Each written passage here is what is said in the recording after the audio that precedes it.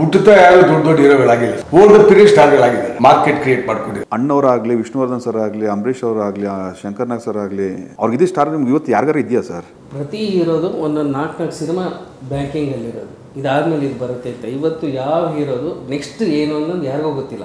ಇಲ್ಲಿ ಮಲಯಾಳಮಲ್ಲಿ ಇವನ್ ದೊಡ್ಡ ಸ್ಟಾರ್ಸ್ ಆಗಲಿ ಮೋಹನ್ ಲಾಲ್ ಅವರಾಗಲಿ ಮಮ್ಮೂಟಿ ಅವರಾಗಲಿ ಚಿಕ್ಕ ಸಿನಿಮಾನು ಮಾಡ್ತಾರೆ ದೊಡ್ಡ ಸಿನಿಮಾನು ಮಾಡ್ತಾರೆ. ಇವಾಗ ಹನ್ನೆರಡು ಕೋಟಿ ಹಾಕ್ಬಿಟ್ಟು ಮಲಯಾಳಂ ಸಿನಿಮಾ ನೂರಿಪ್ಪತ್ತು ಕೋಟಿ ಕಲೆಕ್ಷನ್ ಮಾಡುತ್ತೆ ಅಂತಂದ್ರೆ ಪಿಕ್ಚರ್ ಚೆನ್ನಾಗಿದೆ. ಅವಾಗ ಒಳ್ಳೊಳ್ಳೆ ರೈಟರ್ಸ್ ನಮ್ಮ ಕನ್ನಡದಲ್ಲಿ ಅಣ್ಣವರಿದ್ದಾಗ ಚಿ ಉದಯಶಂಕರ್ ಸರ್ ಆಗಲಿ ಅಥವಾ ಭರದಪ್ಪ ಅವರಾಗಲಿ ಪುಟ್ಟಣ್ಣ ಕಣ್ಗಲ್ ಸರ್ ಸಿದ್ಲಿಂಗ್ ಇವರೆಲ್ಲ ಸ್ಟ್ರಾಂಗ್ ರೈಟರ್ಸು ಸರಿ ಸರ್ ಹೇಳ್ದಂಗೆ ಬರೀ ಎ ಕ್ಯಾಟಗರಿ ಹೀರೋಗಳಿಗೆ ಮಾತ್ರ ಒಂದು ಮಾರ್ಕೆಟ್ ಇದೆ.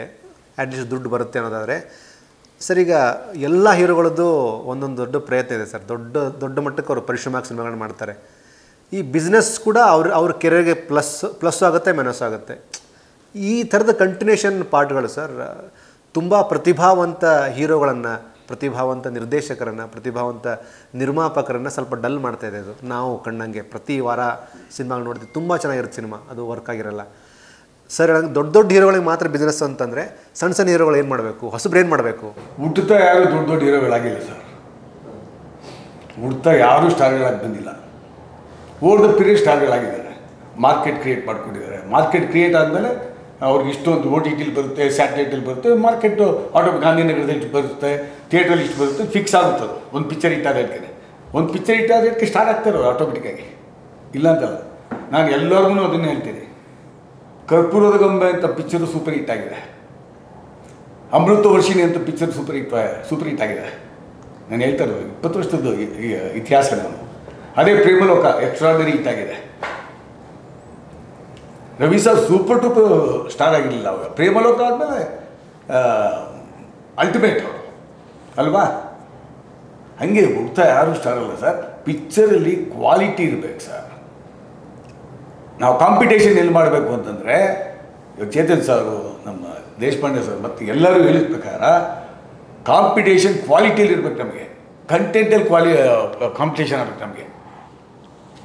ಕಾಂತಾರ ಕೆ ಜಿ ಎಫ್ ಯಾಕೆ ಕೊಡ್ತು ಅಂತಂದರೆ ಕಂಟೆಂಟ್ ಚೆನ್ನಾಗಿದೆ. ಜನ ಅಕ್ಸೆಪ್ಟ್ ಮಾಡಿದ್ರು. ಆ ಥರ ಒಳ್ಳೆ ಕತೆ, ಒಳ್ಳೆ ಸಿನಿಮಾ ಮಾಡಿದ್ರೆ ಜನ ಇವತ್ತಿಗೂ ಅಕ್ಸೆಪ್ಟ್ ಮಾಡ್ತಾರೆ. ಇವಾಗ ಹನ್ನೆರಡು ಕೋಟಿ ಹಾಕ್ಬಿಟ್ಟು ಮಲಯಾಳಂ ಸಿನಿಮಾ ನೂರಿಪ್ಪತ್ತು ನೂರಿಪ್ಪತ್ತು ಕೋಟಿ ಕಲೆಕ್ಷನ್ ಮಾಡುತ್ತೆ ಅಂತಂದರೆ ಪಿಕ್ಚರ್ ಚೆನ್ನಾಗಿದೆ. ಸಿನಿಮಾ ಚೆನ್ನಾಗಿದೆ. ಪ್ರೆಸೆಂಟೇಷನ್ ಚೆನ್ನಾಗಿದೆ. ಇವಾಗ ಅಲ್ಲಿ ಮಲಯಾಳಮಲ್ಲಿ ಹಾಡುಗಳೇ ಇರ್ತಾ ಇರಲಿಲ್ಲ. ಮಲಯಾಳಂ ಪಿಕ್ಚರಲ್ಲಿ ನೋಡಿ ನೀವು ಹಿಸ್ಟ್ರಿ ತೊಗೊಳ್ಳಿ. ಭಾಳ ಕಮ್ಮಿ. ಎಲ್ಲೋ ಒಂದು ಬ್ಯಾಕ್ಗ್ರೌಂಡ್ ಮ್ಯೂಸಿಕ್ಕು ಎಲ್ಲೋ ಟೈಟ್ಲಲ್ಲಿ ಬರೋದು. ಇವಾಗ ಹಾಡುಗಳು ಎಷ್ಟು ಡಿಮ್ಯಾಂಡ್ ಆಗಿಬಿಟ್ಟಿದೆ ಅಂದರೆ, ನಮಗೆ ಆಶ್ಚರ್ಯ. ಮಲಯಾಳಂ ಪಿಕ್ಚರ್ಗಳು ಹಾಡು ಬರ್ತಾ ಇದೆ. ಅದು ಕೋಟಿಗಳು ಕೇಳ್ತಾರೆ ಅವರು. ಇಟ್ಸ್ ಎ ಫ್ಯಾಕ್ಟ್ ಅದು ಭಾಳ ಇಷ್ಟೇ ಮಾರ್ಕೆಟ್ ರೀ. ಯಾರು ನೋಡ್ತಾರೆ ಮಲಯಾಳಂ ಪಿಕ್ಚರ್ ಅನ್ನೋ ಪರಿಸ್ಥಿತಿ ಇತ್ತು ಇತಿಹಾಸದಲ್ಲಿ. ಇವಾಗ ಮಲಯಾಳಂ ಪಿಕ್ಚರ್ ಇಸ್ ಹ್ಯಾಪನಿಂಗ್ ಕಾರಣ ಇಷ್ಟೇ. They are giving a very good content quality of movie ಇದೆ. ಅವರು ಏನು ಸಿಕ್ಕಾಪಟ್ಟೆ ಪ್ರೊಡಕ್ಷನ್ ಮಾಡ್ತಾ ಇಲ್ಲ.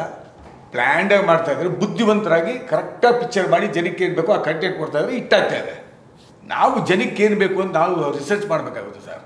ಅದು ಹಾಡಿರ್ಬೋದು ಕತೆ ಇರ್ಬೋದು ಪಿಕ್ಚರ್ ಇರ್ಬೋದು. ಜನಕ್ಕೆ ಚೇತನ್ ಸರ್ ಇಲ್ಲದಾಗೆ ಎಕ್ಸ್ಪೆಕ್ಟೇಷನ್ ಜಾಸ್ತಿ ಇರುತ್ತೆ, ತುಂಬ ಜಾಸ್ತಿ ಇರುತ್ತೆ. ಆ ಎಕ್ಸ್ಪೆಕ್ಟೇಷನ್ ಏನಿದೆ? ಅದಕ್ಕಿಂತ ನಾವು ಒಳ್ಳೆ ಸಿನಿಮಾ ಕೊಟ್ಟರೆ ಜನ ಅಕ್ಸೆಪ್ಟ್ ಮಾಡ್ತಾರೆ, ಮಾಡಲ್ಲ ಅಂತಲ್ಲ. ಕೋವಿಡಲ್ಲಿ ಓ ಟಿ ಟಿ ಚೆನ್ನಾಗಿ sir. ಥಿಯೇಟ್ರ್ಗಳಿರಲಿಲ್ಲ. O T T picked up like anything ಯಾಕೆ? ಎಲ್ಲ ಎಲ್ಲ ಮನೇಲಿ ಕೂತ್ಕೊಂಡು ಹೋಮ್ ಥಿಯೇಟರ್ ಹೋಮ್ ಥಿಯೇಟ್ರಲ್ಲಿ ಟಿ ವಿನಲ್ಲಿ ಪಿಕ್ಚರ್ಗಳು ನೋಡಿದ್ರು ಓ ಟಿ ಟಿ ಮಾರ್ಕೆಟಲ್ಲಿ ಹೋಗ್ಬಿಡ್ತು. ಯೂಟ್ಯೂಬ್ ಮಾರ್ಕೆಟಲ್ಲಿ ಹೋಯ್ತು ಅವಾಗ. ಜನ ಇದ್ದಾರೆ ನೋಡಲಿಕ್ಕೆ. ಟೈಮ್ ಇದೆ ಅವ್ರ ಹತ್ರ ದುಡ್ಡು ಇದೆ. ಒಂದೇನಂದರೆ ನಾವು ಅವ್ರನ್ನ ಹೆಂಗೆ ಕರ್ಕೊಬೇಕು? ಯಾವ ರೀತಿ ಕಂಟೆಂಟ್ ಕೊಡ್ಬೇಕು? ಅದು ನಮ್ಮ ಕೈನಲ್ಲಿದೆ ಕ್ರಿಯೇಟರ್ಸ್ ಇದಾರಲ್ಲ ಸರ್ ಕಂಟೆಂಟು ಅವ್ರು ಭಾಳ ಅವ್ರು ಭಾಳ ಜವಾಬ್ದಾರಿ ಇದೆ. ನಿರ್ಮಾಪಕರು ದುಡ್ಡು ಹಾಕೊಂಡಿದ್ದಾರೆ ಇಲ್ಲ ಅಂತಲ್ಲ ಒಬ್ಬ ನಿರ್ದೇಶಕರು ಅಂತ ಒಂದು ಸಿನಿಮಾ ಮಾಡಿದಾಗ ಆ ಸಿನಿಮಾನ ಹೆಂಗೆ ಗೆಲ್ಲಿಸ್ಬೇಕು ಅಂತಂದ್ಬಿಟ್ಟು ನೀವು ಒಂದೇ ಚಿತ್ರ ಕೊಡಿ, ಎರಡು ವರ್ಷಕ್ಕೆ. ನಿರ್ದೇಶಕ ನಾನು ಹೇಳೋದು ಎಕ್ಸ್ಪೆಷಲಿ ಪ್ಲ್ಯಾಂಟಾಗಿ ಮಾಡಿ. ಡೆಫಿನೆಟಾಗಿ ಇಟ್ಟಾಗುತ್ತೆ ಬಟ್ ನೀವು ಹೇಳಿದ್ರಲ್ಲ, ಸ್ಟಾರ್ಗಳು ಅಂತ. ಸರ್ ಎಕ್ಸಾಂಪಲ್ ಸ್ಟಾರ್ಗಳು ಇರೋ ಪಿಕ್ಚರ್ಗಳು ಹಂಡ್ರೆಡ್ ಡೇಸ್ ಹೋಗಿದೆ ಸರ್ ಹಂಡ್ರೆಡ್ ಡೇಸ್ ಹೋದ್ಮೇಲೆ ಸ್ಟಾರ್ ಆಗಿದ್ದಾನೆ. ಹೋಗಿಲ್ವಾ ಸರ್ ಎಷ್ಟು ಪಿಕ್ಚರ್ಗಳಿದೆ, ಉದಾಹರಣೆ? ಸಾಕಷ್ಟಿದೆ. ಸೊ ಸ್ಟಾರ್ಗಳಿಂದನೇ ಥಿಯೇಟರ್ ನಡೆಯುತ್ತೆ ಸ್ಟಾರ್ಗಳಿಂದನೇ ಆಡಿಯೋ ಹೋಗುತ್ತೆ ಸ್ಟಾರ್ಗಳಿಂದನೇ ದುಡ್ಡು ಬರುತ್ತೆ ಅನ್ನೋದು ನನಗೆ ಇದೆ ಸ್ಟಾರ್ ಆದಮೇಲೆ ಒಂದು ಒಂದು ಲೆವೆಲ್ಗೆ ಇದೆ ಸರ್. ಇಲ್ಲ ಅಂತಿಲ್ಲ ನಾನು ಅದ್ರ ಬಗ್ಗೆ ಇದು ಹೇಳ್ತಾ ಇಲ್ಲ. ಬಟ್ ಬೇರೆಯವ್ರನ್ನೂ ಸ್ಟಾರ್ಟ್ ಮಾಡ್ಬೋದು. ಇಲ್ಲಿ ಕಂಟೆಂಟು ಕಿಂಗ್ ಸರ್ ಒಳ್ಳೆ ಕಂಟೆಂಟ್ ಕೊಟ್ಟರೆ ಡೆಫಿನೆಟ್ಲಿ ಪಿಕ್ಚರ್ ಹಿಟ್ ಆಗುತ್ತೆ. ಜನ ನೋಡ್ತಾರೆ, ದುಡ್ಡು ಬರುತ್ತೆ ಥಿಯೇಟ್ರುಗಳು ಹಬ್ಬ, ಹಬ್ಬದ ವಾತಾವರಣ ಇರುತ್ತೆ. ಅಷ್ಟು ಮಾತ್ರ ನನ್ನ ಎಕ್ಸ್ಪೀರಿಯನ್ಸಲ್ಲಿ ನಾನು ಹೇಳಲಿಕ್ಕೆ ಇಷ್ಟಪಡ್ತೀನಿ.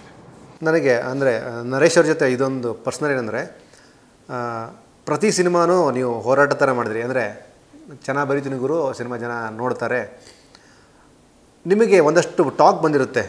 ಸಖತ್ ಸಿನಿಮಾ ಸರ್ ಇಂಡಸ್ಟ್ರಿ ಒಂದಷ್ಟು ಜನ ನಿಮಗೆ ಸಪೋರ್ಟ್ ಮಾಡಬೇಕಾಗಿತ್ತು, ಮಾಡಲಿಲ್ಲ. ಈ ಥರದ ಒಂದು ತುಂಬ ಜನರಲಾಗಿ ಚರ್ಚೆ ಮಾಡಿರ್ತಾರೆ. ಇದರ ಸಪೋರ್ಟಿಂಗ್ ಪಾಯಿಂಟ್ ಆಫ್ ವ್ಯೂ ನೀವು ಹೇಗೆ ಕನೆಕ್ಟ್ ಆಗ್ತೀರಾ ಇಂಡಸ್ಟ್ರಿ ಜೊತೆಗೆ? ದೊಡ್ಡ ದೊಡ್ಡ ಪ್ರೊಡ್ಯೂಸರು ದೊಡ್ಡ ದೊಡ್ಡ ಡೈರೆಕ್ಟರ್ಗಳು ದೊಡ್ಡ ದೊಡ್ಡ ನಟರು, ಒಳ್ಳೆ ಸಿನಿಮಾಗಳಿಗೂ ಸಹ ಕೆಲವೊಂದು ಸರಿ ಪೋಸ್ಟ್ ಹಾಕ್ತಾರೆ, ಕೆಲವೊಂದು ಸರಿ ಪೋಸ್ಟ್ ಹಾಕಲ್ಲ. ಇದು ಇದೆಲ್ಲ ಹೇಗೆ ಸ್ಪ್ರೆಡ್ ಆಗುತ್ತೆ? ಅದೆಲ್ಲ ಅಷ್ಟೊಂದು ಇಂಪಾರ್ಟೆಂಟ್ ಜನ ಸಪೋರ್ಟ್ಸ್ ಫೈನಲ್ ಸರ್ ಜನ ಏನು ಸಪೋರ್ಟ್ ಮಾಡ್ತಾರೆ ಅದು ಫೈನಲ್ಲು ಎಲ್ಲ ಒಂದು ಕಡೆ ನಾವು ಜನಗಳವರೆಗೂ ಅಥವಾ ಅವ್ರ ಎಕ್ಸ್ಪೆಕ್ಟೇಷನ್ಸ್ ಹೇಳ್ದಂಗೆ ರೀಚ್ ಆಗಿದೋ ಇಲ್ವೋ ನಮ್ಗೆ ಗೊತ್ತಿಲ್ಲ. ಅದು ಜನನೇ ಡಿಸಿಷನ್ ಮೇಕರ್ಸು ಒಳ್ಳೆ ಸಿನಿಮಾ, ಕೆಟ್ಟ ಸಿನಿಮಾ ಅಂತ ನಾವು ಡಿಸಿಷನ್ನೇ ಮಾಡಬಾರ್ದು. ಜನ ಮಾಡಬೇಕು ಡಿಸಿಷನ್ ಅದು ಅವ್ರಿಗೆ ಬಿಡಬೇಕು. ಸಿನಿಮಾ ಮಾಡ್ಬೋದು ಅಷ್ಟೇ ನಾವು.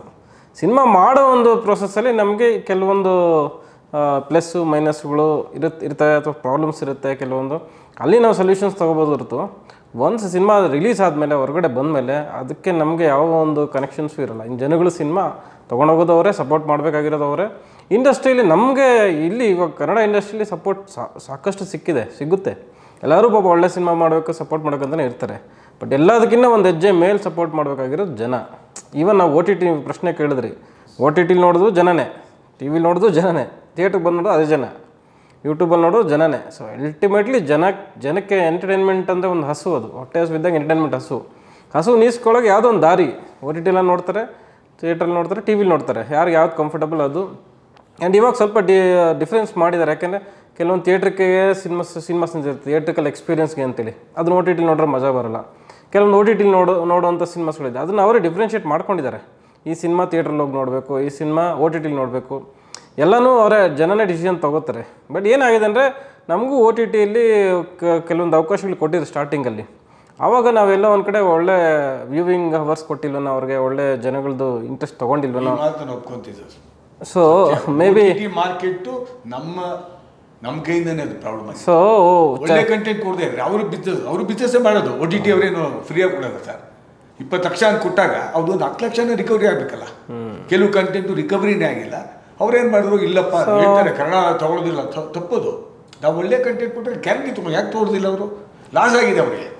ಸೊ ಹಾಗಾಗಿ ಈ ಸಮಸ್ಯೆ ಆಗಿದೆ. ಟಿ ವಿ ಅವ್ರಿಗೂ ಟಿ ಇಬ್ಬರಿಗೂ ಲಾಸ್ ಆಗಿರುತ್ತೆ. ಸ್ಟಾರ್ಟಿಂಗಲ್ಲಿ ಮೇ ಬಿ ಆಗಿರ್ಬೋದು ನಾವು ಎಕ್ಸ್ಪೀರಿಯನ್ಸ್ ಅವ್ರಿಗೆ. ಅದಾದ್ಮೇಲೆ ಏನು ಮಾಡಿದರೆ ಅಂದರೆ ಇನ್ನು ಕನ್ನಡ ಸಿನಿಮಾಸೇ ನಾವು ತೊಗೊಳೋದು ಬೇಡ ಅಂತ ಅವ್ರು ಡಿಸೈಡ್ ಆಗಿರ್ಬೋದು ಬಟ್ ಮಿಸ್ಟೇಕ್ ನಮ್ಮ ಸೈಡಿಂದ ಫಸ್ಟ್ ಆಗಿದೆ ಅದು. ಆಮೇಲೆ ಇವಾಗ ಅದಕ್ಕೆ ಅದಕ್ಕೆ ಅದಕ್ಕೆ ಆನ್ಸರ್ ಏನಂದರೆ ಮತ್ತೆ ಒಂದು ಒಳ್ಳೆ ಸಿನಿಮಾಸ್ ಮಾಡಬೇಕಷ್ಟೇ. ಅದು ವ್ಯೂವಿಂಗ್ ಅವರ್ ಜಾಸ್ತಿ ಜನಗಳು ಅದ ಕಡೆಯಿಂದ ಆಗಬೇಕು ಥಿಯೇಟ್ರಲ್ಲೂ ವ್ಯೂವಿಂಗ್ ಅವರ್ ಜಾಸ್ತಿ ಆಗಬೇಕು ಯೂಟ್ಯೂಬಲ್ಲಿ ಆಗಬೇಕು ಟಿ ವಿಲೂ ಆಗಬೇಕು. ಆವಾಗಲೇ ಆಟೋಮೆಟಿಕ್ಲಿ ಅವರೇ ಬರ್ತಾರೆ ಆ್ಯಂಡ್ ಎಲ್ಲ ಅವರು ಕಂಟೆಂಟ್ ಎಲ್ಲರೂ ಕಂಟೆಂಟ್ಗೋಸ್ಕರನೇ ಆಗ್ತಾನೆ. ಸೊ ಕಂಟೆಂಟ್ ಇವ್ರು ಹೇಳ್ದಂಗೆ ಸರ್ ಹೇಳ್ದಂಗೆ ಕಂಟೆಂಟ್ ಇಸ್ ಕಿಂಗ್ ಕಂಟೆಂಟ್ ಎಲ್ರಿಗೂ ಬೇಕು, ಜನಗಳಿಗೂ ಬೇಕು ಒ ಟಿ ಟಿ ಅವ್ರಿಗೂ ಬೇಕು ಟಿ ವಿ ಅವ್ರಿಗೂ ಬೇಕು. ಬಟ್ ನಾವು ಅದನ್ನು ಬೆಸ್ಟ್ ಕಂಟೆಂಟ್ ಮಾಡೋಕ್ಕೆ ನಾವು ಯೋಚನೆ ಮಾಡಬೇಕು, ಅದ್ರ ಮೇಲೆ ವರ್ಕ್ ಮಾಡಬೇಕು ಕ್ವಾಲಿಟಿ ವರ್ಕ್ ಮಾಡಬೇಕು ಅಷ್ಟೇ ಅದು ಬಿಟ್ಟು ಬೇರೆ ಆಪ್ಷನ್ ಇಲ್ಲ ಅನ್ಸುತ್ತೆ ಸರ್, ಜೊತೆಗೆ ಈಗ theatre rent, theatre share, sir, ಇದು ಏನಂದರೆ ತುಂಬ ಜನ ನಿರ್ಮಾಪಕರು, ನನಗೆ ಗೊತ್ತಿರೋಂಗೆ, ಅವರು ಥಿಯೇಟ್ರ್ ಓನರ್ನ ಸಂಪರ್ಕ ಮಾಡಿರ್ತಾರೋ ಇಲ್ಲ ಗೊತ್ತಿಲ್ಲ. ಆ ಮಧ್ಯದಲ್ಲೇ ಒಂದು ಡೈವರ್ಷನ್ ತೋತಾರೋ ಗೊತ್ತಿಲ್ಲ. ಸರ್, ನಾನು ಈ ಥಿಯೇಟ್ರಲ್ಲಿ ಸಿನಿಮಾ ರಿಲೀಸ್ ಮಾಡೋಣ ಅಂದ್ಕೊಂಡಿದ್ದೀವಿ ಸರ್, ಆ ಥಿಯೇಟ್ರ್ ನಮಗೆ ಸಿಗಲೇ ಇಲ್ಲ. ಆ ಥಿಯೇಟ್ರ್ ನಮಗೆ ಕೊಡಲೇ ಇಲ್ಲ ಅಂತ. ಈ ಒಂದು ಒಂದು ಗೊಂದಲ ಇದೆ, ಸರ್, ಅಂದರೆ ಹೊಸ ನಿರ್ಮಾಪಕರಲ್ಲಿ. ಇದು ನಿಮ್ಮ ಗಮನಕ್ಕೂ ಬಂದಿರುತ್ತೆ. ಒ ಟಿ ಟಿ ವಿಚಾರದಲ್ಲಿ ಇನ್ನೊಂದು ಆ್ಯಡ್ ಆನ್ ಸಮಸ್ಯೆ ಇದೆ. ಏನು ಅಂದರೆ, ಈ ಒ ಟಿ ಟಿ ತುಂಬ ಉತ್ಕೃಷ್ಟವಾದ ಬೆಳೆದಿದ್ದ ಒಂದು ಸಮಯ ಅಂದರೆ ಕೋವಿಡ್ ಸಂದರ್ಭದಲ್ಲಿ. ಕೋವಿಡ್ ಸಂದರ್ಭದಲ್ಲಿ ಯಾವ ಲೆವೆಲ್ ಸಬ್ಸ್ಕ್ರೈಬರ್ ಬಂದರು ಅಂದರೆ ಅವ್ರಿಗೆ ಇನ್ನೂ ಹೆಚ್ಚಿನ ಹೆಚ್ಚಿನ ಕಂಟೆಂಟ್ನ ಫೀಡ್ ಮಾಡಬೇಕಾಗಿತ್ತು ಆಡಿಯನ್ಸ್ಗೆ ಸೊ ಹಂಗಾಗಿ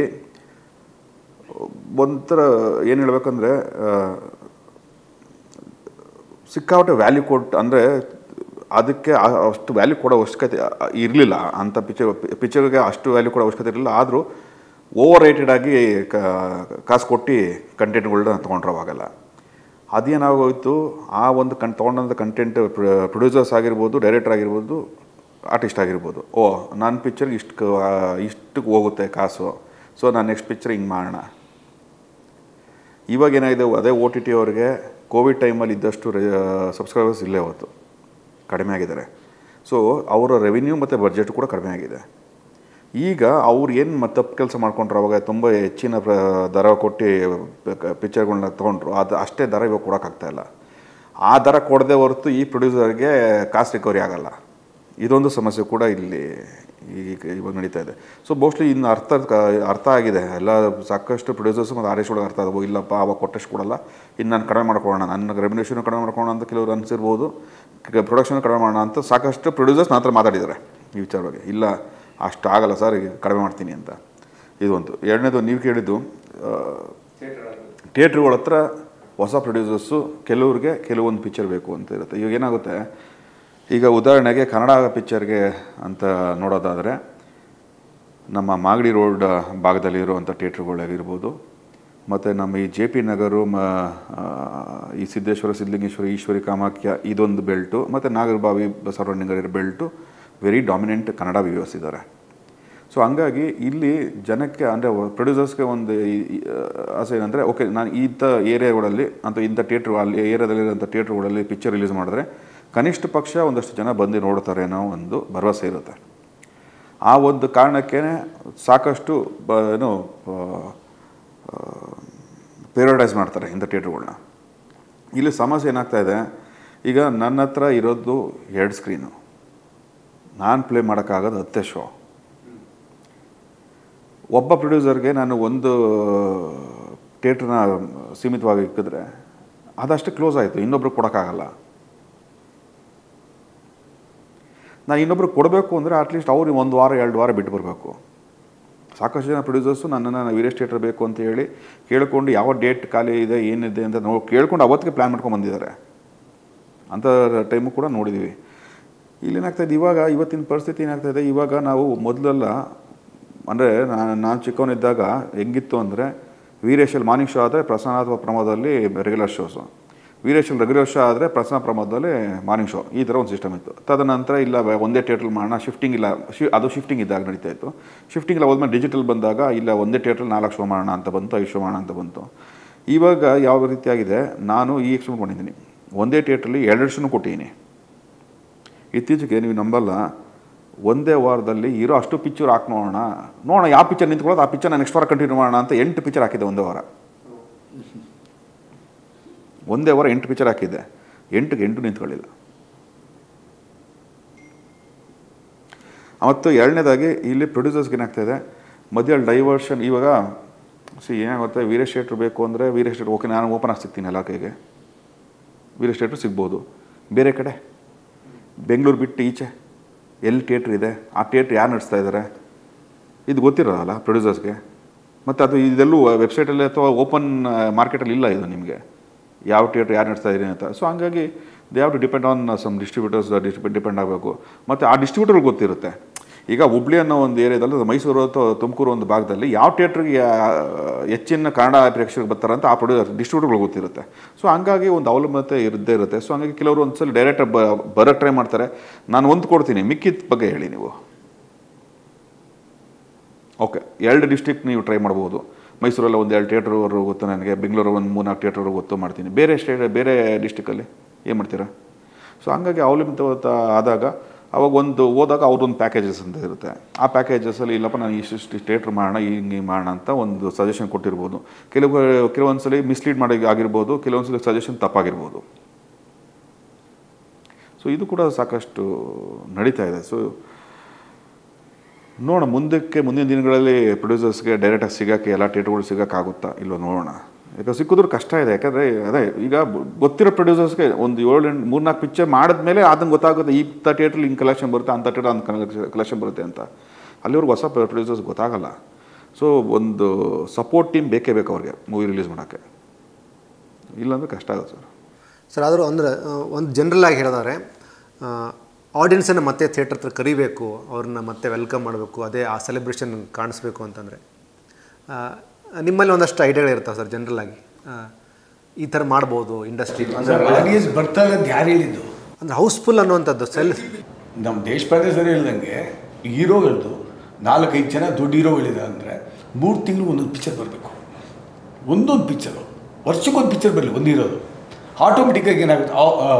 ಎಕ್ಸ್ಪೈರ್ಜೆಂಟ್ ಒಂದು ಒಂದು ಸ್ಟಾರ್ದು ಫ್ಯಾನ್ಸು ಒಂದು ಪಿಕ್ಚರ್ ನೋಡ್ತಾರೆ ಇನ್ನೊಂದು ಫ್ಯಾನ್ಸು ಮತ್ತು ಜನ. Variety of heroes variety of cinema ಕೊಟ್ಟರೆ ಗ್ಯಾರಂಟಿ ಜನ ಬರ್ತಾರೆ ಸರ್, ಬರಲ್ಲ ಅಂತಲ್ಲ. ಇವತ್ತು ಮೇನ್ ಪ್ರಾಬ್ಲಮ್ ಆಗ್ತಿರೋದು, ಅಂದರೆ ನಮ್ಮಲ್ಲಿ ಥಿಯೇಟ್ರು ಕಡಿಮೆ ಅಂತ ಹೇಳ್ತೀವಿ. ಇರೋ ಥಿಯೇಟರ್ಗಳು ಅರ್ಧ ಮುಚ್ತಾ ಇದೆ. ಯಾಕೆಂದ್ರೆ ಫಿಲಮ್ಗಳೇನೋ ಬರ್ತಾ ಇದೆ, ಆದರೆ ಜನ ಬರ್ತಾ ಇಲ್ಲ. ಜನ ಯಾಕೆ ಬರ್ತಾ ಇಲ್ಲ ಅಂದರೆ ಅವ್ರಿಗೆ ಯಾವುದೋ ಒಂದು ನಿರೀಕ್ಷೆ ಇರಬೇಕು, ಒಂದು ಸ್ಟಾರ್ ಇರಬೇಕು ಅಥವಾ ಇನ್ನೇನು ಇರಬೇಕು. ಆ ಸ್ಟಾರ್ಗಳ ಸಿನಿಮಾ ಕಡಿಮೆ ಆಗ್ತಿದೆ. ಹಾಗಾಗಿ ಬಹಳಷ್ಟು ಸಿನಿಮಾ ಥಿಯೇಟರ್ಗಳು ಓಪನ್ ಆಗಿದ್ರು, ದೊಡ್ಡ ಸಿನಿಮಾಗಳು ಮಾತ್ರ ಓಪನ್ ಆಗಿರುತ್ತೆ. ಮಹಾ, ಬಹಳಷ್ಟು ಅದು ಕ್ಲೋಸ್ ಮಾಡಿರ್ತಾರೆ ಅವರು. ಹಾಗಾಗಿ ನಿರಂತರವಾಗಿ ಸಿನಿಮಾ ಫೀಡ್ ಆಗ್ತಾ ಇರ್ಬೇಕು ಅವ್ರಿಗೆ ಯಾರು ನಿಲ್ಲಿಸಬಾರ್ದು. ಕಂಟಿನ್ಯೂಸ್ ಆಗಿ ತಿಂಗಳು ಒಂದಾರು ಒಂದು ನಿರೀಕ್ಷೆಗೆ ಸಿನಿಮಾ ಇದ್ರೆ. ಸೊ ನಿರಂತರವಾಗಿ ಬರ್ತಾ ಇದ್ರೆ ಆವಾಗ ಪ್ರೇಕ್ಷಕರು ಬರ್ತಾ ಇರ್ತಾರೆ. ಆವಾಗ ಒಳ್ಳೇದು ಕೆಟ್ಟದ್ದು ಎಲ್ಲವೂ ನಡೀತಾ ಇರುತ್ತೆ. ಆದರೆ ಅವ್ರಿಗೊಂದು ವ್ಯಾಕ್ಯೂಮ್ ಕ್ರಿಯೇಟ್ ಮಾಡಿಕೊಡ್ಬಾರ್ದು ಅಂತ ಒಂದು ಇನ್ನೊಂದು ಈ ಪ್ಯಾನ್ ಇಂಡಿಯಾ ಫಿಲ್ಮ್ಸೇ ಮಾಡಬೇಕು ಅಂತೇಳಿ ಇಯರ್ಸ್ ಟುಗೆದರ್ ಸಿನಿಮಾಗಳಾಗ್ತಿದೆ ಅದರಿಂದ ಏನಾಗುತ್ತೆ? ದೊಡ್ಡ ಸಿನಿಮಾ ದೊಡ್ಡ ಬಜೆಟ್ಸು ದೊಡ್ಡ time two years three years ಒಂದು ಸಿನಿಮಾ ಫಿನಿಷ್ ಮಾಡೋಕ್ಕೆ ಟೈಮ್ ಆಗ್ತಿದೆ. ನೀವು ಮಲಯಾಳಮಲ್ಲಿ ಇವನ್ ದೊಡ್ಡ ಸ್ಟಾರ್ಸ್ ಆಗಲಿ ಮೋಹನ್ ಲಾಲ್ ಅವರಾಗಲಿ, ಮಮ್ಮೂಟಿ ಅವರಾಗಲಿ, ಚಿಕ್ಕ ಸಿನಿಮಾನೂ ಮಾಡ್ತಾರೆ, ದೊಡ್ಡ ಸಿನಿಮಾನೂ ಮಾಡ್ತಾರೆ. ಎರಡು ಕೋಟಿ, ಮೂರು ಕೋಟಿ ಸಿನಿಮಾನೂ ಮಾಡ್ತಾರೆ ಐವತ್ತು ಕೋಟಿ ಪಿಕ್ಚರು ಮಾಡ್ತಾರೆ. ಈ ಎರಡು ಕೋಟಿ, ಮೂರು ಕೋಟಿ ಪಿಕ್ಚರು ಇಟ್ಟಾಗುತ್ತೆ, ಐವತ್ತು ಕೋಟಿ ಪಿಕ್ಚರು ಇಟ್ಟಾಗುತ್ತೆ. ಆವಾಗ ಏನಾಗುತ್ತೆ, ಎರಡು ಥರನೂ ಫಿಲ್ಮ್ಸ್ ಬಂದಾಗ ಥಿಯೇಟ್ರಿಗೆ ಫೀಲಿಂಗ್ ಸಿಗುತ್ತೆ ಥಿಯೇಟ್ರ್ ಕ್ಲೋಸ್ ಮಾಡೋಂಥ ಪರಿಸ್ಥಿತಿ ಬರಲ್ಲ. ಇಲ್ಲಿ ಚಿಕ್ಕ ಸಿನಿಮಾ ಮಾಡೋಕ್ಕೆ ಯಾರು ಯೋಚನೆ ಮಾಡ್ತಿಲ್ಲ ಎಸ್ಪೆಷಲಿ ದೊಡ್ಡ ಸ್ಟಾರ್ಸು ಆ್ಯಂಡ್ ಚಿಕ್ಕ ಸಿನಿಮಾ ಚಿಕ್ಕ ಸ್ಟಾರ್ಸ್ ಮಾಡಬೇಕು. ಆ ಸಿನಿಮಾಗೆ ದೊಡ್ಡವ್ರದ್ದೇ ನಮಗೆ ಕರೆಕ್ಟಾಗಿ ಸಿನಿಮಾಸ್ ಬರ್ದಿಲ್ಲ ಚಿಕ್ಕವ್ರಿಗೆ ಜನ ಹೆಂಗೆ ಬರ್ತಾರೆ? ಇಲ್ಲ ನನಗೆ ಇದಕ್ಕೆ ಗುರು ಸರ್ ಒಂದು ರಿಯಾಕ್ಷನ್ ಬೇಕು. ಚೆನ್ನಾಗಿದೆ ಪಾಯಿಂಟ್ ಚೆನ್ನಾಗಿದೆ ವೆರಿ ನೈಸ್ ಪಾಯಿಂಟ್ ಮೇಲಾಗಿ ತುಂಬ ಹೆಲ್ದಿ ಇರುವಂಥ ವಿಚಾರ ಇದು. ನೋಡಿ ಒಂದು ಕಟ್ಪಾಡಲ್ಲಿ ಹೆಂಗೆ ಬಿದ್ದಿದ್ದೀವಿ ಅಂತಂದರೆ ನಾವು ತುಂಬ ದೊಡ್ಡವ್ರ ಬಗ್ಗೆ ಮಾತಾಡಲ್ಲ. ಯಾಕಪ್ಪ ನಾಳೆ ನಾವು ಅವ್ರ ಹತ್ರ ಹೋಗಿ ನಿಂತ್ಕೋಬೇಕಾಗತ್ತೆ? ಅಂದರೆ ನಾವು ದೊಡ್ಡವ್ರ ಹತ್ರ ಹೋಗಿ ನಿಂತ್ಕೋಬೇಕು. ನನ್ನ ಸಿನಿಮಾಗೆ ಎಲ್ಲರೂ ಸಾಥ್ ಕೊಟ್ಟಿದ್ದಾರೆ. ನಾನು ಇಲ್ಲಿವರೆಗೂ ಅಪ್ಪು ಸರು ಧ್ರುವ ಅವರು. ಕಿಚ್ಚ ಸುದೀಪ್ ಅವರು, ದರ್ಶನ್ ಅವರು, ಎಲ್ಲರೂ ನನ್ನ ಸಿನಿಮಾಗಳಿಗೆ ಪ್ರಮೋಷನ್ಗೆ ಬಂದಿದ್ದಾರೆ.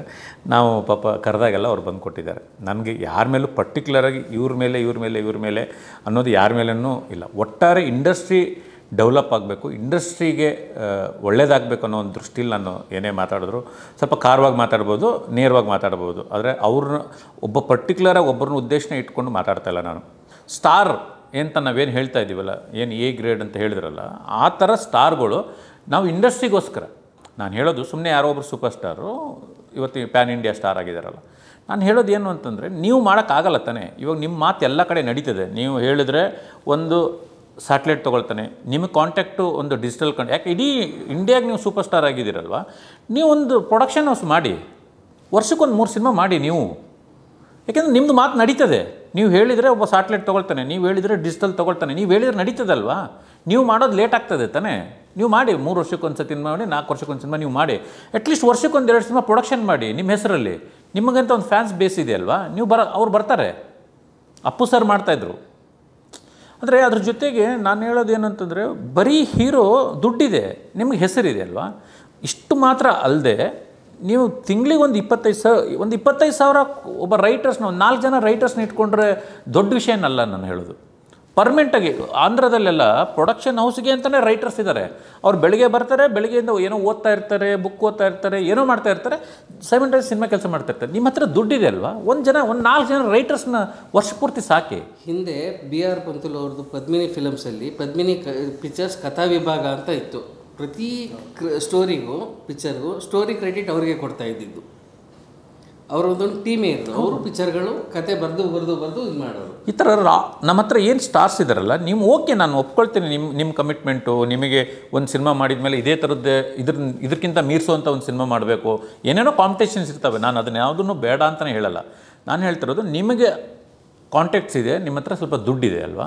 ನೀವು ಇಂಡಸ್ಟ್ರಿ ಡೆವಲಪ್ ಆಗೋಕ್ಕೋಸ್ಕರ ಇಂಡಸ್ಟ್ರಿ ಡೆವಲಪ್ ಆಗೋಕ್ಕೋಸ್ಕರ ಎಲ್ಲರೂ ಮಾಡಿ ಅನ್ನೋದು ಹೇಳ್ತಿರೋದು. ಇದಕ್ಕೆ ಪೂರಕವಾಗಿ ಇದಕ್ಕೆ ಪೂರಕವಾಗಿ ಕೆಲವು ವರ್ಷಗಳ ಹಿಂದೆ ಪ್ರತಿ ವಾರ ಅಥವಾ ತಿಂಗಳಿಗೆ ಒಂದು ಎರಡು ಸರಿನಾದ್ರು ಪೈರಸಿ ಅವತ್ತಿನ ದಿವಸನೇ ಪೈರಸಿ ಆಗೋದು ಈ ಥರದ್ದೆಲ್ಲ ಸಾಕಷ್ಟು ಸಮಸ್ಯೆಗಳು ಪ್ರತಿ ಟೀಮ್ನವರು ಬಂದು ಮೀಡಿಯಾದವ್ರ ಹತ್ರ ಹೇಳ್ಕೊಳ್ತಿದ್ರು ಅಥವಾ ಕಂಪ್ಲೇಂಟ್ ಕೊಡ್ತಾ ಇದ್ರೆ ಹೊರತು ಒಂದು ಇಂಡಸ್ಟ್ರಿ ಆಗಿ ಕಲೆಕ್ಟಿವ್ ಆಗಿ ಅದಕ್ಕೆ ಹೆಂಗೆ ಕಾಂಬ್ಯಾಟ್ ಮಾಡಬೇಕು ಅಂತ ಯೋಚನೆ ಮಾಡಲೇ ಇಲ್ಲ. ಎಲ್ಲರೂ ಬರೋರು. ದೊಡ್ಡ ಸ್ಟಾರ್ಗಳು ಅವ್ ಇನ್ನೊಬ್ಬ ಸ್ಟಾರು ಫ್ಯಾನ್ಸು ನನ್ನ ಇದನ್ನು ಪಿಕ್ಚರ್ ಪೈರಸಿ ಮಾಡ್ತಿದ್ದಾರೆ ಅಂತ ಹೇಳ್ಕೊಂಬಂದರು ಕೆಲವರು ಅಥವಾ ಬೇರೆ ಬೇರೆ ಏನೇನೋ ಇದು ಮಾಡಿದ್ರು.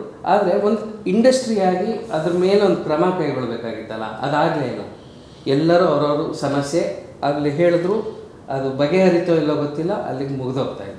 ನಮ್ಮ ಸಮಸ್ಯೆಗಳು, ಚಿತ್ರರಂಗದ ಸಮಸ್ಯೆಗಳು ಯಾವಾಗಲೂ ಇದೇ ಥರ ಆಗ್ತಾ ಇರೋದು ಇಲ್ಲಿ ಒಂದು ಕಲೆಕ್ಟಿವ್ ಎಫರ್ಟ್ ಇಲ್ಲ. ಒಂದು ಮುಖ್ಯವಾಗಿ ಎಲ್ಲರೂ ಒಟ್ಟಿಗೆ ಸೇರಿದಾಗ ಮಾತ್ರ ಏನಾದ್ರು ಆಗೋಕ್ಕೆ ಸಾಧ್ಯ.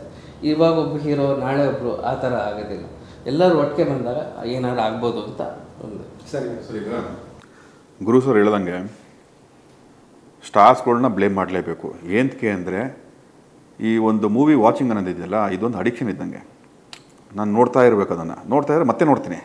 ನಾನು ನೋಡೋದು ಬಿಟ್ಟರೆ ಮತ್ತೆ ನೋಡೋಕ್ಕೆ ಬರಲ್ಲ. ಈಗ, ಅಣ್ಣವರಾಗಲಿ, ವಿಷ್ಣುವರ್ಧನ್ ಸರ್ ಆಗಲಿ ಅಂಬರೀಷ್ ಅವರಾಗಲಿ ಶಂಕರ್ನಾಗ್ ಸರ್ ಆಗಲಿ ಅನಂತ್ನಾಗ್ ಸರ್, ಇವ್ರು ಯಾರಿಗೂ ಇಲ್ದಿದ್ದು ಸ್ಟಾರ್ಡಮ್ ಇವತ್ತು ಯಾರಿಗಾರು ಇದೆಯಾ? ಅವ್ರಿಗಿದ್ದು ಸ್ಟಾರ್ಡಮ್ ಇವತ್ತು ಯಾರಿಗಾರು ಇದೆಯಾ ಸರ್? ಯಾರಿಗೂ ಇಲ್ಲ ಅಲ್ಲ. ಅವರು ವರ್ಷಕ್ಕೆ ನನ್ನ ಇಂಡಸ್ಟ್ರಿನಪ್ಪ ನನ್ನ ಕೆಲಸ ಏನಾದ್ರು ಬರೀ ದುಡಿಯೋದು ಇಂಡಸ್ಟ್ರಿಯಲ್ಲೇ ಆ್ಯಕ್ಟಿಂಗ್ ಮಾಡಿ ಅಂತ ದುಡಿತಿದ್ರಲ್ಲ ಅವ್ರ ಲೆವೆಲ್ ಬೇಡ ಸರ್ ಅವ್ರ ಥರ ನೀವು ವರ್ಷಕ್ಕೆ ಎರಡು ಪಿಚ್ಚರ್ ನಾಲ್ಕು ಪಿಚ್ಚರ್ ಐದು ಪಿಚ್ಚರ್ ಬೇಡ. ಎರಡು ವರ್ಷಕ್ಕೆ ಒಂದು ಮಾಡಿ ಸಾಕು. ಮತ್ತು ಗುರು ಸರ್ ಹೇಳ್ದಂಗೆ ಪ್ರೊಡಕ್ಷನ್ ಹೊಸ ಮಾಡಿ. ನೀನು ಮಾಡ್ದಲ್ವಾ? ನೀನೇನು ಬೆಳೆಸಿದ ಇದೇ ಇಂಡಸ್ಟ್ರಿ ಅಲ್ವಾ? ಏನು ಕೊಡ್ತಿದ್ದೆ ವಾಪಸ್ಸು? ನೀನು ಮತ್ತೆ ಇಂಡಸ್ಟ್ರಿಗೆ ಏನು ವಾಪಸ್ ಕೊಟ್ಟೆ? ನಿನ್ನ ಆಡಿಯನ್ಸ್ನ ನಿನ್ನ ತಿರ್ಗ ನೋಡಬೇಕು ಅಂದರೆ ನಾಲ್ಕು ವರ್ಷ, ಐದು ವರ್ಷ, ಮೂರು ವರ್ಷ ಬೇಕು ಅಂದರೆ ಇದೇ ಅಭ್ಯಾಸ ಆದರೆ ನಿನ್ನ ನೋಡದೆ ಮರ್ತೋಯ್ತಾರೆ. ಅದು ಯಾಕೆ ತಲೆ ಹೋಗ್ತಿಲ್ಲ ನಿಮಗೆ? ಇದೇ ಇದೇ ಒಂದು ಸ್ಥಿತಿಯಲ್ಲಿ ನಮ್ಮ ಬಾಲಿವುಡ್ ಇತ್ತು. ಬಾಲಿವುಡ್ಡು ಇದೇ ಥರ ಸಿಂಪಲ್ ಅಮೆರಿಕನ್ ಎಲ್ಲರೂ ಫಾಲೋ ಮಾಡ್ತಾ ಇರೋದು ಇನ್ನು ಯಾರನ್ನೂ ಅಲ್ಲ, ಅಮ್- ಅಮೆರಿಕನ್ ಅಮೆರಿಕನ್ ಒಂದು ಸ್ಟ್ಯಾಂಡರ್ಡ್ನ ಫಾಲೋ ಮಾಡ್ತಾವ್ರೆ. ಮೂರು ವರ್ಷಕ್ಕೆ ನಾಲ್ಕು ವರ್ಷಕ್ಕೆ ಒಂದು ಪಿಕ್ಚರ್ ಒಳ್ಳೆ ಕತೆ ತೊಗೊಂಬತ್ತೀನಿ ಅಂತ. ಎಷ್ಟು ಸಲ ತರಕಾಗುತ್ತೆ ಒಳ್ಳೆ ಕತೆ. ಲಾಸ್ಟ್ ಎರಡು ಪಿಕ್ಚರ್ ಒಳ್ಳೆ ಇಲ್ಲ ಅಮಿತ, ಅಮೆರಿಕನ್ದು. ಇವಾಗ ಹತ್ತು ವರ್ಷ ಗ್ಯಾಪ್ ಆಗೋಯ್ತು. ಹತ್ತು ವರ್ಷ ಗ್ಯಾಪ್ ಆಯಿತು. ಅಮೀರ್ ಖಾನ್ದು ನೆಕ್ಸ್ಟ್ ಮೂವಿ ಬೇಕು ಈಗ ನನ್ನ ಈಗ simple sir Aamir Khan next movie next movie ಯಾವುದು ಸರ್ ಯಾರು ಗೊತ್ತು? ಶಾರುಖ್ ಖಾನ್ ಯಾವುದು? ಸಲ್ಮಾನ್ ಖಾನ್ ಯಾವುದು? ಮೊದಲು ಎಂಥ ವ್ಯಕ್ತಿ ಕೇಳಿದ್ರು ಅವ್ರದ್ದು ನೆಕ್ಸ್ಟ್ ಪಿಕ್ಚರ್ ಯಾವುದು ಯಾವಾಗ ಬರ್ಬೋದು ಅನ್ನೋ ಒಂದು ಒಂದು ಹೆಸರು ಹೇಳ್ತಿದ್ರು. ಇವತ್ತು ಯಾವುದು ಅಂತ ನಮ್ಮ ಇಂಡಸ್ಟ್ರಿ ಇರೋ ನಮಗೆ ಒಳಗೆ ಗೊತ್ತಿಲ್ಲ ಸರಿಯಾಗಿ. ಪ್ರತಿ ಹೀರೋದು ಒಂದೊಂದು ನಾಲ್ಕು ನಾಲ್ಕು ಸಿನಿಮಾ ಬ್ಯಾಂಕಿಂಗಲ್ಲಿರೋದು. ಇದಾದ್ಮೇಲೆ ಇದು ಬರುತ್ತೆ ಅಂತ. ಇವತ್ತು ಯಾವ ಹೀರೋದು ನೆಕ್ಸ್ಟ್ ಏನು ಅನ್ನೋದು ಯಾರಿಗೂ ಗೊತ್ತಿಲ್ಲ. ಸರ್, ಇಲ್ಲಿ ಒಬ್ಬ ಆರ್ಟಿಸ್ಟ್ಗೆ ಅವನ ಕೆಲಸ ಬರೀ ಶೂಟಿಂಗ್ ಟೈಮಲ್ಲಿ ಅಷ್ಟೇ. ಪೋಸ್ಟ್ ಪ್ರೊಡಕ್ಷನ್ ಆತನ ಕೆಲಸ ಇಲ್ಲ. ಡಬ್ಬಿಂಗ್ ಬಿಟ್ಟರೆ ಶೂಟಿಂಗ್ ಬಿಟ್ಟರೆ ಇನ್ನು ಯಾವುದ್ರಲ್ಲೂ ಆತನ ಇನ್ವಾಲ್ವ್ಮೆಂಟ್ ಇಲ್ಲ. ಆ ಟೈಮಲ್ಲಿ ಬೇರೆ ಶೂಟಿಂಗ್ ಮಾಡಪ್ಪ. ಲೈನಪ್ ಬಿಟ್ಕೊಳ್ಳಿ ಒಂದು ಹತ್ತು ಹದಿನೈದು ಪಿಕ್ಚರು ಹತ್ತು ಹದಿನೈದು ಪಿಕ್ಚರಲ್ಲಿ ಓಕೆ ಇದು ಇಲ್ಲಿ ಯಾರೋ ಮಾಡಿದ್ರು ಇವಾಗ ಇದು ಬೇಡ, ಅದ್ಯಾವುದು ಇನ್ನೊಂದು ಎತ್ಕೊಂಡು ಅಂತ ಮಾಡ್ಕೊಳ್ಳಿ. ಅದು ಬಿಟ್ಟು ಒಂದು ಪಿಕ್ಚರ್ ಆದಮೇಲೆ ನೆಕ್ಸ್ಟ್ ಡಿಸೈಡ್ ಮಾಡ್ತೀನಿ ಯಾವ್ದು ಮಾಡಬೇಕು ಅನ್ನೋದು ಈ ಒಂದು ಮೆಂಟಾಲಿಟಿ ಇದೆಯಲ್ಲ ಇದು ತುಂಬ ತಪ್ಪಾಗುತ್ತೆ. ಈ ತಪ್ಪು ಕೆಲಸದಿಂದ ಇಂಡಸ್ಟ್ರಿಲೂ ಇರೋಲ್ಲ, ಇಂಡಸ್ಟ್ರಿನೂ ಇರೋಲ್ಲ, ಅವರು ಇರೋಲ್ಲ.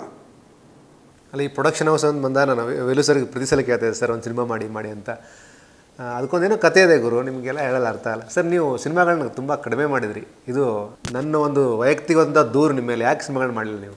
ಮಾಡಬೇಕಾಗಿತ್ತು ಲಹರಿ ವೇಲು ಅವರು.